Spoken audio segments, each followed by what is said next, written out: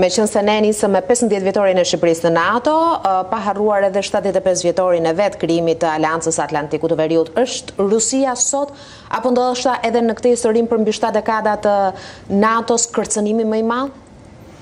Po për Aleancën Transatlantike tashmë është e provuar që vërtet Rusia është një kërcënim shumë serioz. Nuk është i vetmi kërcënim, pa dyshim, por është një kërcënim serioz sepse Rusia ka ndërhyrë ushtarakisht në përpjekje për të pushtuar Ukrainën dhe kjo po ndodh brenda kontinentit europian.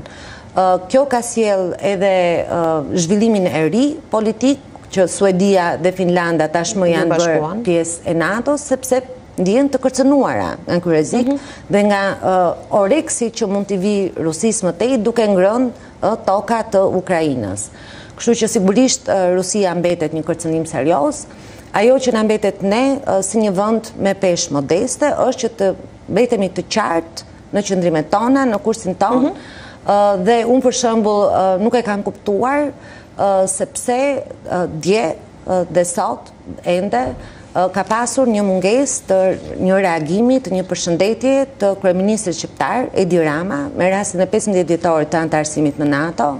Ne jemi përshëndetur nga të gjithë personalitetet e botës që kanë marrë pjesë në këtë proces, që kanë ndihmuar Shqipërinë në këtë proces, nga aktorët me cilët bashkudhëtojmë në këtë proces, i vetmi që nuk ka gjetur një moment uh, për të bërë një shënim në Twitterat e tij, në X apo në Facebook mm -hmm. është kryeministri.